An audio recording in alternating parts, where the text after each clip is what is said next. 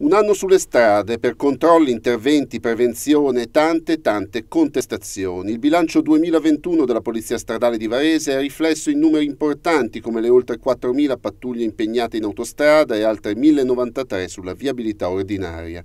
Quasi 31.000 le persone controllate, 25.000 i veicoli, 7.500 le infrazioni contestate, la metà delle quali in autostrada.